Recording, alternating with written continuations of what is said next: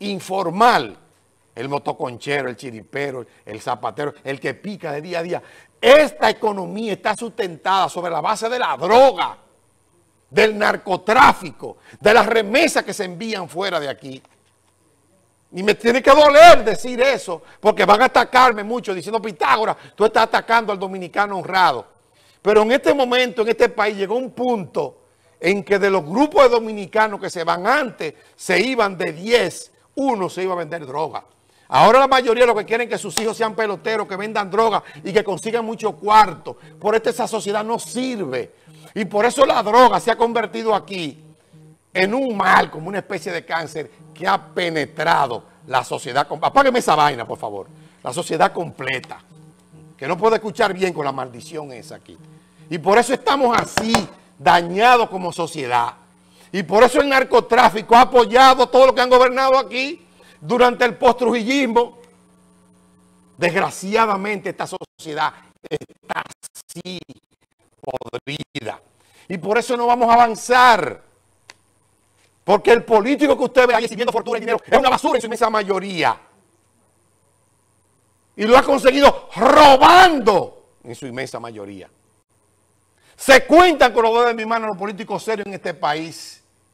¿Usted cree que todavía en el año 2020 prácticamente, en el siglo XXI, podemos estar hablando de apagones nosotros en este país?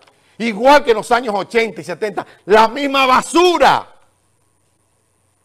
Y usted ve que un cartel por aquí, que yo, que yo sí puedo, que Luis Abinader, que el Penco Gonzalo, que, que, que Leonel Fernández, que... ¡Mentira! No van a resolver nada. Van a robar a lo mismo. Le meten cuento al dominicano porque al dominicano le gusta que le hablen mentira, que le hablen bonito. Y en el fondo el dominicano sabe que son unos ladrones la mayoría y que se han hecho robando. Y el sistema está establecido. Pero yo vi a la gente de la Junta braviando que el comunicador que hable, que, yo cuánto, se lo van a... Yo, bueno, óyeme, que debieran estar callados por los escándalos que se han suscitado, tan grandes que hasta Saladín renunció en un momento determinado de presión. Porque aquí todos los estamentos de la sociedad lo ha prostituido el PLD en estos 20 años y el PRD hizo bien, tampoco sirvió para nada. Llega un hombre que habla de democracia y que inaugura la democracia después de la dictadura y de que fue impuesto Balaguer cuando fue eh, ajusticiado Trujillo. Y se da un tiro Antonio Guzmán Fernández por la corrupción en el baño del país. ¡Pam! Un tiro se da de tan grande que es la corrupción de su partido. Y llega Salvador de Blanco y sale huyendo toda su compañía. Casi preso todito la mayoría de delincuentes.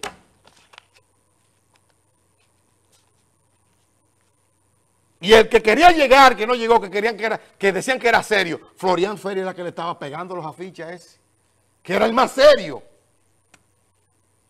Escuche usted de dónde está. César Emilio Peralta, esa banda operando. 30 años operando bajo el régimen de todos los gobiernos. Esto es una sociedad que está podrida por dentro y por fuera.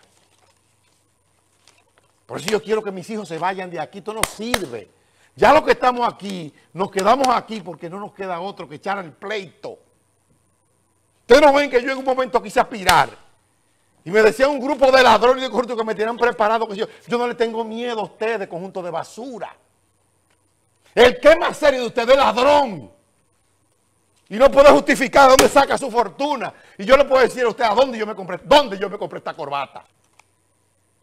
Y la mayoría de ellos que usted lo va exhibiendo por ahí, andando con muchachitas, porque la mayoría son pederastas y buscan muchachitas, y la mayoría usan droga también, y se van a drogar, y hacen orgía. Esas son la gente que dirige esta sociedad. Y usted lo ve dándose por el pecho, que van a la iglesia a besar la, la, la sotana en la casulla del obispo y al pastor, y que están dirigiendo grupos un conjunto de sinvergüenza y de ladrones que creen que van a comprar la gloria. Y por eso es que esta sociedad está mal. Y por eso es que yo caigo mal. Porque yo no encajo en los cuadros de, corrupción de los pederastas, de los proxenetas, y de toda esa basura que nos gobierna. Y usted sabe lo que ellos hacen cuando uno habla así. Ellos se ríen porque ellos siguen buscándose los cuartos y acabando y saqueando este país. Y el dominicano de pendejo va a votar como un burro por esa gente para que le den 500 pesos y un picapollo. Y una fundita como yo lo vi ahí. Usted no tiene la funda esa, la cosa. ¿Cómo termina? Como yo le presenté aquí. El año pasado y todo eso, dándose palo y galletas. Y esas mujeres alándose los moños porque el hambre la está matando hambre que han generado esos desgraciados corruptos.